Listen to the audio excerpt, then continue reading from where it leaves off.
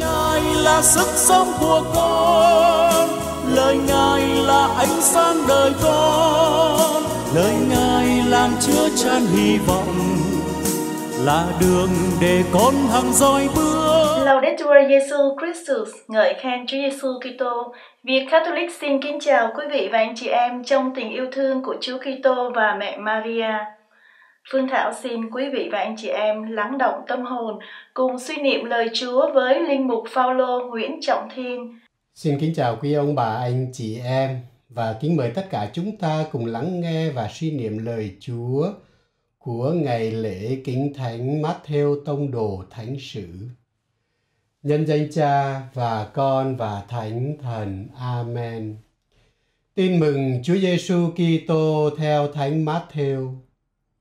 Khi ấy Đức Giêsu đi ngang qua trạm thu thuế thì thấy một người tên là Matthew đang ngồi ở đó. Người bảo ông: "Anh hãy theo tôi." Ông đứng dậy đi theo người. Khi Đức Giêsu đang dùng bữa tại nhà ông ấy, có nhiều người thu thuế và người tội lỗi kéo đến cùng ăn với người và các môn đệ. Thấy vậy những người pha Pharisêu nói với các môn đệ người rằng Tại sao thầy các anh lại ăn uống với bọn thu thuế và quân tội lỗi? Nghe thấy thế Đức Giêsu nói Người khỏe mạnh không cần thầy thuốc, người đau ốm mới cần. Hãy về học cho biết ý nghĩa của câu này. Ta muốn lòng nhân, chứ không cần lễ tế vì tôi không đến để kêu gọi người công chính, mà để kêu gọi người tội lỗi.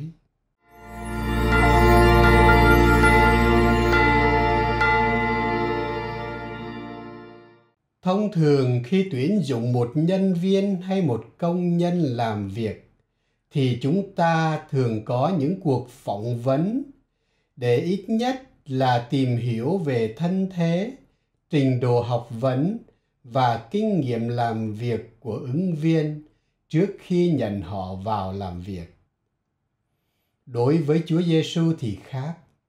Khi chọn các tông đồ và các môn đệ để làm việc cho cánh đồng truyền giáo, Ngài đã không phỏng vấn để tìm hiểu về nhân thân, trình độ và kinh nghiệm của ai cả và ngài cũng không đặt ra bất cứ một tiêu chí hay tiêu chuẩn nào cho việc lựa chọn các môn đệ của ngài. Trước hết, đức giêsu nói rằng, lúa chín đầy đồng mà thờ gặt thì ít. Các con hãy xin chủ ruộng sai thợ đi gặt lúa. Matthew chương 9 Qua đây Đức Giêsu dạy chúng ta biết rằng đồng lúa nước trời là của Chúa và thờ gặt cũng là của Chúa. Việc chúng ta cần làm là cầu nguyện xin Chúa sai thờ gặt ra đồng thu lúa về. Chúa là chủ, là tác nhân chính, còn chúng ta là những cộng sự viên của Chúa trên cánh đồng truyền giáo. Tiếp đến khi chọn các tông đồ và các môn đệ, chắc hẳn Đức Giêsu đã gọi không ít người như được trình bày trong các sách tin mừng. Nhưng nhiều người đã bận rộn với trách nhiệm gia đình cũng như công ăn việc làm. Và chỉ có những người sẵn sàng bỏ hết mọi sự để đi theo Ngài mới được chọn. Do đó Đức Giêsu kết luận rằng kẻ được gọi thì nhiều nhưng kẻ được chọn thì ít là vậy. Chúa gọi nhiều người làm việc cho chúa nhưng chúa cũng tôn trọng sự tự do đáp trả của mỗi người. Chúng ta còn nhớ tới một số câu chuyện gọi các tông đồ như Phêrô và Andre, Gioan và Giacôbê, như Philippe và Bartolomeo, như Phaolô ngã ngựa hay như Matthew người thu thuế trong bài tin mừng hôm nay.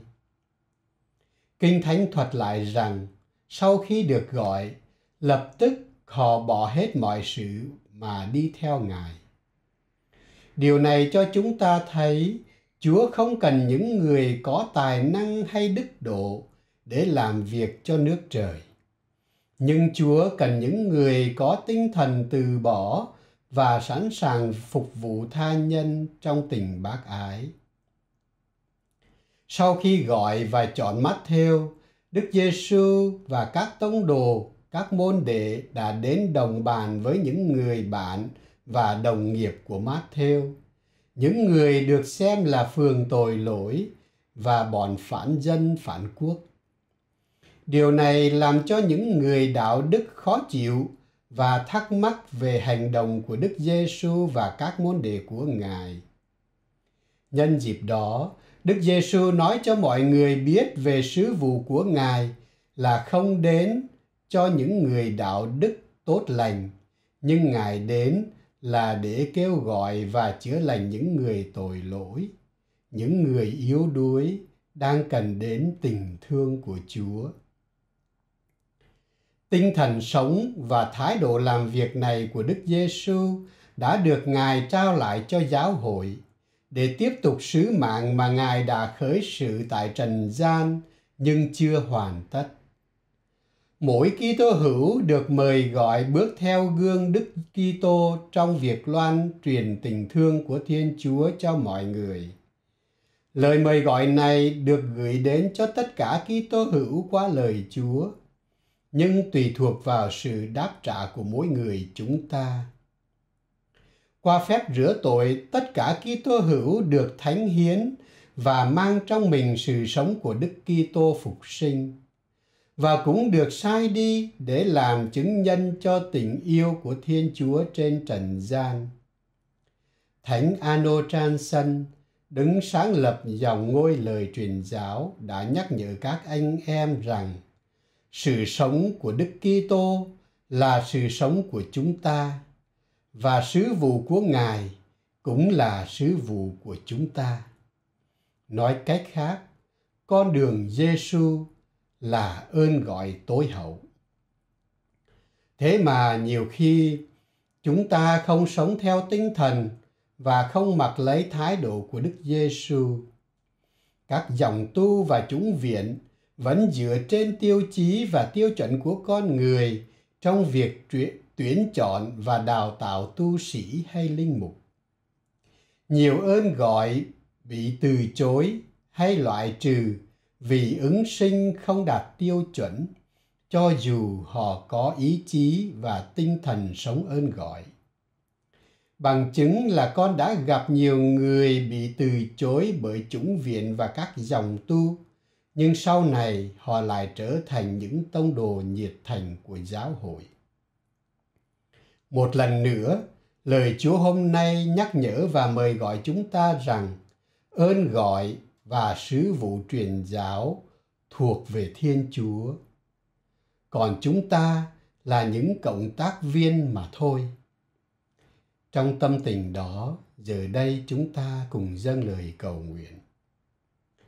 Lạy Chúa, qua mầu nhiệm nhập thể và thương khó, Đức Giêsu đã khai mở cho trần gian con đường cứu độ và với tình thương vô điều kiện, Ngài đã thánh hóa và mời gọi chúng con tham gia vào công trình cứu độ của Chúa.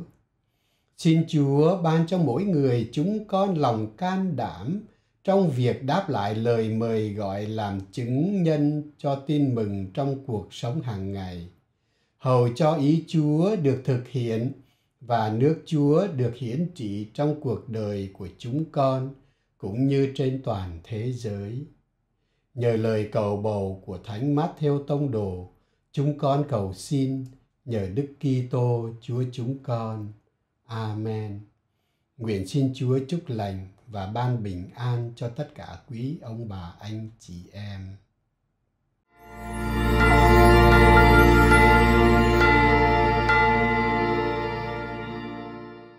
Chương trình của chúng tôi đến đây là hết. Xin quý vị và anh chị em giúp phổ biến rộng rãi chương trình này đến với gia đình, thân quyến và bạn bè xa gần như một cách thức để truyền giáo. Xin cảm ơn và hẹn gặp lại quý vị và anh chị em trong lần phát hình tới. Laudetur Jesu Christus, ngợi khen Chúa Giêsu Kitô.